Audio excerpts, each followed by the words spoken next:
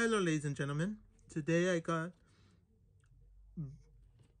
the Blu-ray plus digital copy of Rob Zombie's 31, which is a, a Target exclusive. So there it is. There it is. I think they're the same characters from the previous uh, generations of Rob Zombie movies from The Devil's Reject and some other movies that I cannot mention at the moment. This is the backside, which says there's a digital copy. So the artwork is pretty nice.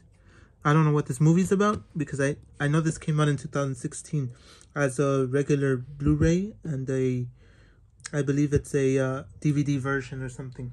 And then there was a digital version. So I thought this one was going to be a 4K, but I guess I'm wrong about that. So let's open it up. Let, let me pull it back. Let's open it up. Hopefully not damaging the box or something because I dislike when the boxes get damaged. So there it is. As you guys can see, it's a slip. So I was telling you, ladies and gentlemen, that this is 31. And then, like I said, it's a slip cover, which is the artwork is pretty basic here, but it looks good with this one. See that? Awesome.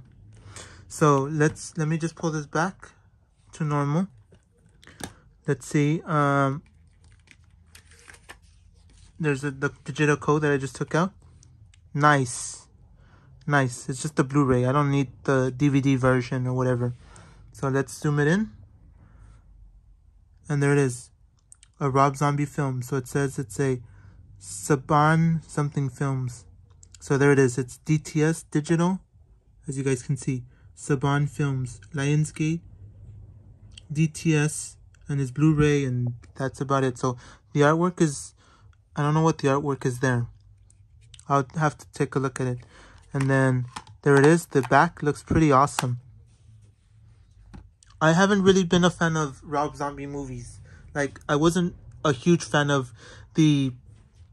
I wasn't really a huge fan of the... Um, uh, of the the Halloween movies, but I was definitely, like I said, a fan of uh, The Devil's Reject, and then I think that I think there was a thousand corpses or something like that, which I kind of was a huge fan of those two. So now I want to get more of Rob Zombie's collection, even though the Rob Zombie movies uh, of Halloween were not that great, but I, I, I can forgive him for that. But other than that, that's about it, ladies and gentlemen. Let me just put this back together and show you that it's 31. Rob Zombie's 31. So there it is.